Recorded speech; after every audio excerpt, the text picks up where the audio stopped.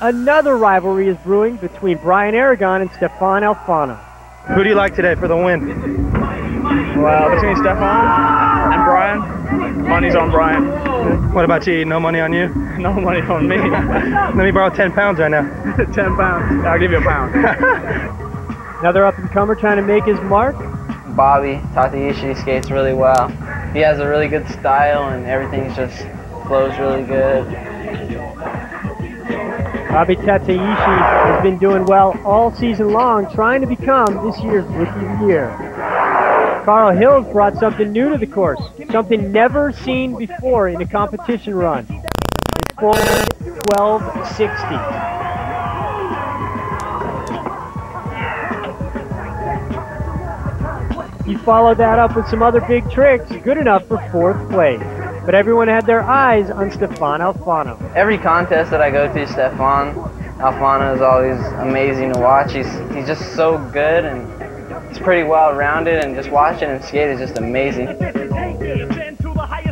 What would you say that his biggest impact in that run was? Probably the nine. So clean every single time. Just you can't beat it former world amateur champion, came out here. He's always in the running for the first place ranking in the world, but only good enough for third here.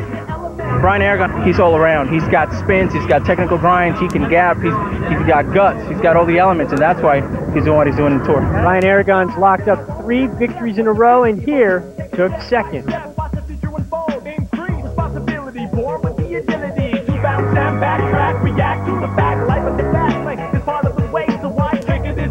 You think you'll still be number one when you're 30? No. Guy Crawford from England. This kid's got the technical tricks and the big tricks. He's upside down. If you don't believe me, just watch the jump box.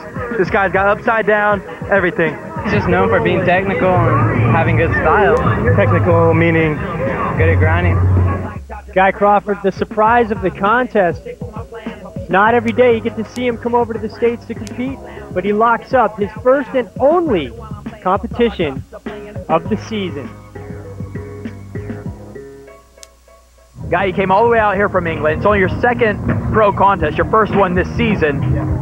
You've been hanging out in the States. You decided to come out to a pro event, and you won the darn thing. I mean, what were your expectations coming into this event? Uh, I didn't really have any at all. Uh, I just wanted to come to an event, skate like me, do the tricks that I like doing, and see if that did anything. And it, it did.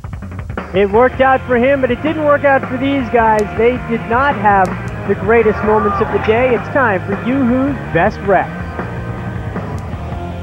Don't go anywhere because we're going to shift gears. It's BMX when we come back with the best of the Mobile Skate Park Series. Damn!